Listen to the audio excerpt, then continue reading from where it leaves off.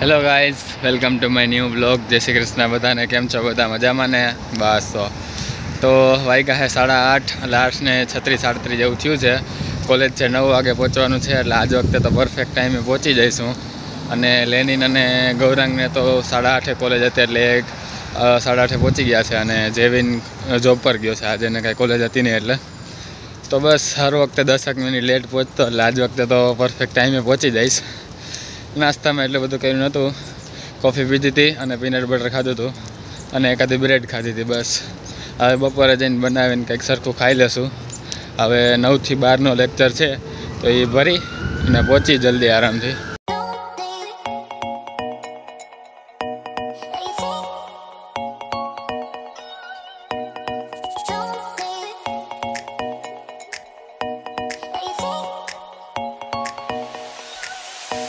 તો વાગ્યા છે બાર અને હું ઘરે પહોંચવા આવ્યો છું.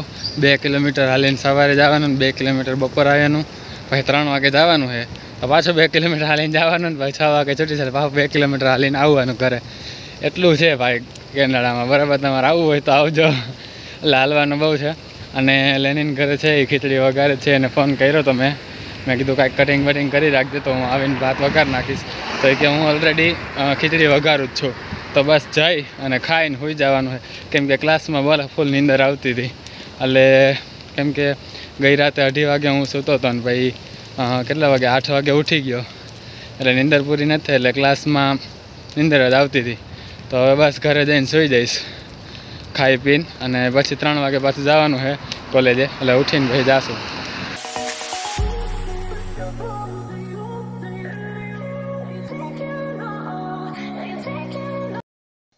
પેટ ભરાઈ ગયું છે વધારે.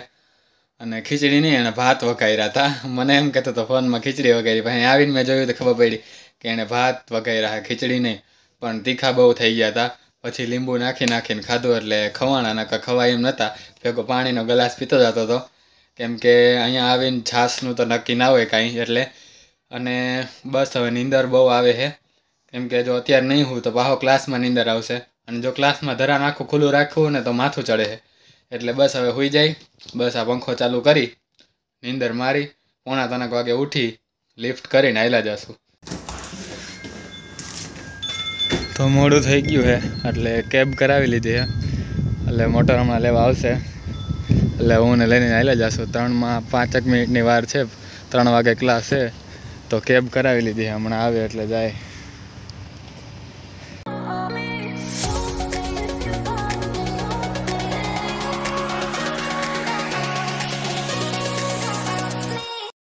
કોલેજેથી છૂટી ગયા એ છ વાગ્યા છે અને પાછી લિફ્ટ કરી લીધી હે.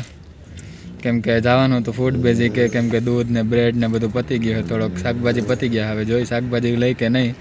કેમ કે શુક્રવારે અમારે નવા ઘરે શિફ્ટ થવાનું છે, જ્યારે તમે બ્લોગમાં ફોટોઝ બતાવ્યા હતા ને સૌથી પહેલાં એ જગ્યાએ.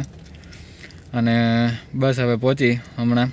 નીકળશું અહીંથી ઘરેથી કોલેજેથી નીકળશું એટલે હમણાં ફૂડ બેઝિકે પહોંચી.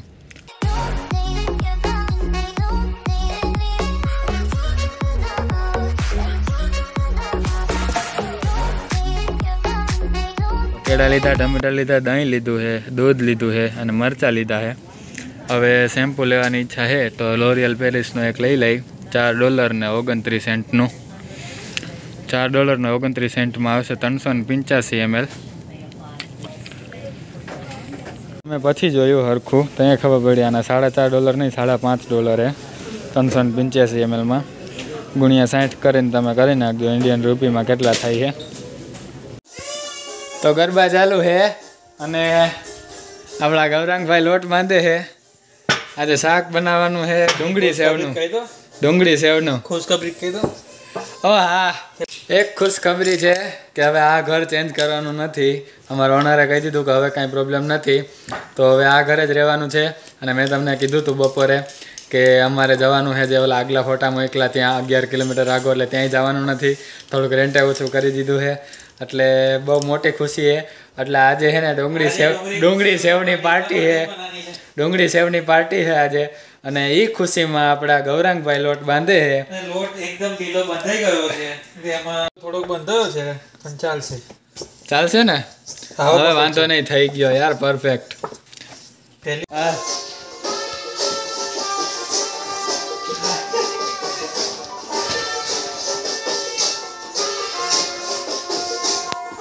તો આપણા લેનિનભાઈ નવા શૂઝ લાવ્યા છે.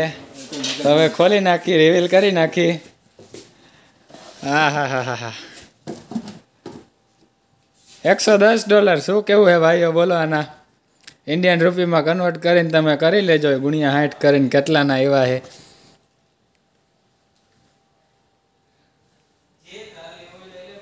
ઓ, વૈદા કેટા વાસણ ધોવે છે અને આ ગ્રેવી બનાવે છે બસ.